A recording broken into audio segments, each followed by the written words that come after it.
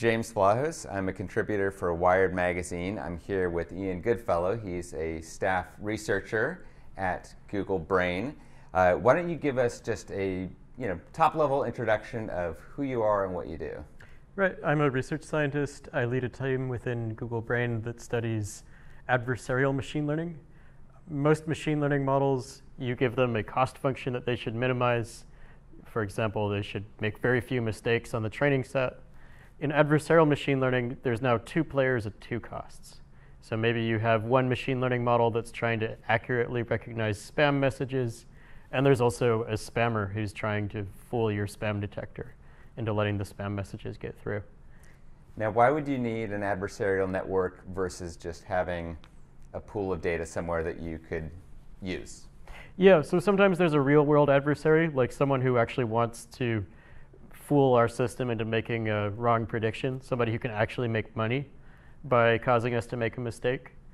For example, in um, search engines, you've heard of search engine optimization, where people earn money by figuring out how to get sites ranked higher. You could imagine that someone would want to fool the Google search ranking algorithm into ranking a site higher than they should. Um, that's the kind of thing that becomes adversarial machine learning when there's actually someone who has an incentive to do something that isn't in your training set. Um, other times we actually make up imaginary conflicts because they, they give the model an opportunity to practice and do something useful. Uh, for example, generative adversarial networks learn to produce realistic images via an imaginary competition between an image generator and an image discriminator, hmm. where the generator tries to make realistic images the discriminator gets points for detecting fake images and blocking them. And what are some applications of being able to do that? What can you do that you weren't able to do before? Yeah, so anything where you want to imagine a new input that wasn't there before, you can do with generative adversarial networks. Uh, we've seen that for things like creating training data for other machine learning models. There's a lot of work about uh, generating photos of people's eyes looking in particular directions so that hmm. when they're holding up a cell phone, they can tell where on the screen the user is looking. It's very difficult to actually take photos of people and know where their eyes were aimed. But if you ask the generative adversarial network to uh, create a photo of a person looking at a specific place, it can generate that photo for you with exactly the right eye angle. And then you can train the eye direction recognition model from that kind of data. It's also been used for self-driving cars, doing things like creating imaginary data in adverse weather conditions, um, and for robotics. On the Google Brain team, we have a lot of work on robotics, and we use generative adversarial networks to create um, imaginary training environments full of all kinds of real-world clutter to hmm. confuse the robot and make it make it really exercise hard at, at picking up objects off of tables and realistic cluttered environments with lots of flowers and pictures lying around in the way. So there's scenarios where you don't actually have, there's a sparseness of training data. You can essentially make it yourself uh, to fill that gap. Yeah, it's really hard to write a simulator by hand that has all kinds of realistic detail. You'd need to have the person developing the simulator actually build all the 3D models of all the interesting objects. If you can just have a machine learning model create the objects in the environment for you. It takes a lot of the human effort out of the equation. Isn't there also an application in projecting future states, such as in video? And so, could you tell us a little bit about that? Yeah. Um, one of the classic problems with machine learning is that you give it an input and you give it an output from the training set, and you tell it, every time you see this input, you got to give me this specific output. That works really well if there's only one right answer. Like if the input is a photo of a cat and the output is meant to be a category, it, it should really only ever tell you cat. For things like video, if you give it one frame of video and ask it what's going to happen in the next frame of video, there are a lot of things that might happen that could be a little bit different. Um, the example Yann LeCun likes to give is if you take a pen and you stand it up on a table, you know it's going to fall, but you don't know which way. And uh, a GAN is useful because it's trying to produce a, a, next frame that's realistic rather than producing exactly the next frame that was in the training data. So the, the GAN can actually understand that it's realistic for the pen to fall left, it's realistic for the pen to fall right, Um, it's not realistic to do what traditional machine learning algorithms do. Traditional machine learning algorithms know that the pen could fall left or right, and they kind of average those two results out. So you get a ghost, blurry pen that's uh, simultaneously falling in both directions. Let me ask you about the use of GANs in conversational or dialogue systems, uh, particularly in non goal oriented dialogues, in social or chit chat conversations. You have that same problem of there not being necessarily a right response after a given dialogue utterance. Um, are you working on, or can you tell us about any applications of GANs in that area, where you're essentially predicting a plausible future state? Yeah, this area is actually very challenging for GANs because words and letters used by a chatbot are, are discrete. They're um, categorical variables. You're, you, you either output the word hello or the word goodbye, but you can't really find a word in between hello and goodbye. For images, it's easy to output either a dark pixel or a bright pixel or any level of gray in between. A lot of our training algorithms are based on gradually transitioning from black to white by visiting all the shades of gray in between. We don't know how to do that for language yet. So that's one of the key research problems we have to solve for GANs for chatbots. Uh, we submitted a research paper about GANs for text to the International Conference on Learning Representations this year. It's called mm. MaskGAN, if you'd like to check it out.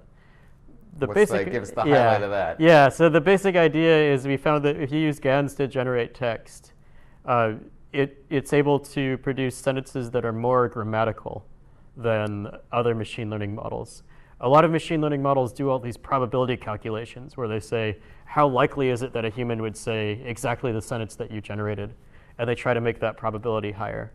Those probability calculations don't always capture things like whether the sentence actually means anything or whether the grammar of the sentence is correct.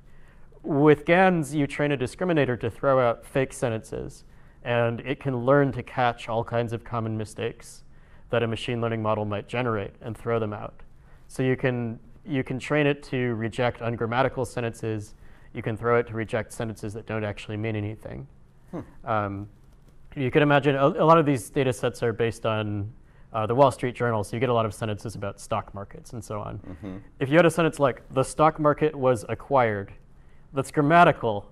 You know, you, you have subject, verb, Object. you know, a- adjective at the end, but uh, it doesn't make any sense. You know, you can't acquire the whole stock market. Mm-hmm. Um, a GAN, discriminator could learn that acquired doesn't really go very well with stock market back at the sentence at, at the start of the sentence, mm. and and could throw that out. Um, and and you know those those kinds of constraints added by the discriminator help to get more meaningful sentences. I'm going to switch to a, a different topic here slightly. Um, you've had some comments apparently lately about security and privacy in machine learning, and um, maybe share some of those here. Yeah, um, anytime we make a new technology, we tend to go through this pattern where first we build the technology and then later we try to make it secure and private.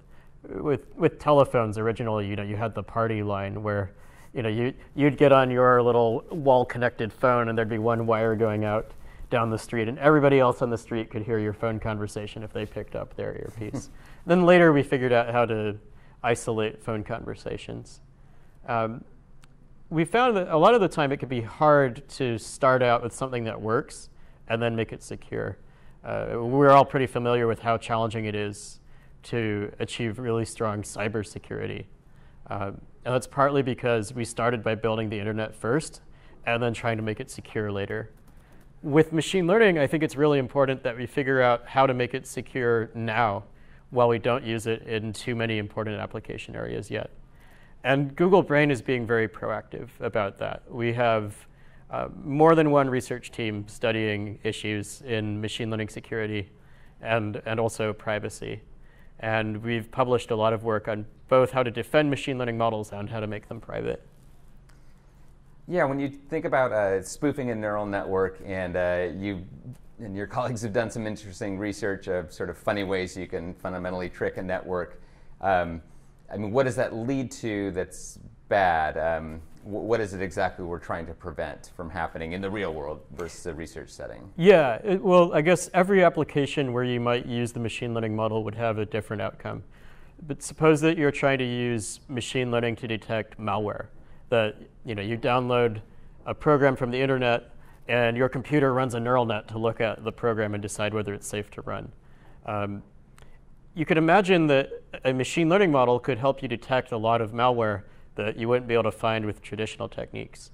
At the same time, if the neural net itself is not secure, people could write malware that actually fools your neural net malware detector. They could make viruses that are designed to get through the detector just because they've fooled it. Um, but every, every application area has different things that the attacker might try to do when they fool your machine learning system. Gotcha. Let's see if there's anything else we're missing here. Um, yeah, maybe a, something big picture to close here. Um, which industries, uh, sectors of the world are you most excited to see the implementation of some of these ideas that you're working on? Yeah, I'm actually really excited for GAN-like models to start being used more in healthcare. Hmm. Uh, there's already some work on using GANs to generate structures of molecules to be used for medicine. And I think that that line of work will become more popular and start to have more impact. Uh, that's a lot of why I got into AI in the first place, was I, I thought about a lot of important problems in science that I could solve that would help people. And I realized that I could actually have more effect by working on the tools that would help all these domains. Um, healthcare is one of those domains that I'm glad to see that the machine learning work I've done is starting to be useful as a tool for actually helping to cure disease. Uh, so, what have you enjoyed about this event, and what are you learning from being at this event? Yeah, as a scientist, I like to come here and get an idea of which problems I should be solving for other people to benefit from. Uh, in my day-to-day life working at Google, I'm mostly used to interacting with other people who know how to solve machine learning problems for themselves. Here I get to come see what do people out in the business world want machine learning researchers to solve for them. Hmm. Um, today, a lot of people were really interested in the CycleGAN model. It can do things like turn a picture of a horse into a picture of a zebra. And a lot of people are asking about uh, extensions of that, like using it for face swapping and um, I- improving photos of groups of people where you could change individual faces. Um, that's a level of granularity that researchers usually haven't looked at, and now I have an idea that that's something important we should think about. So you come here and people say, What can you do for me? Basically. very good. All right, thank you very much. Very welcome.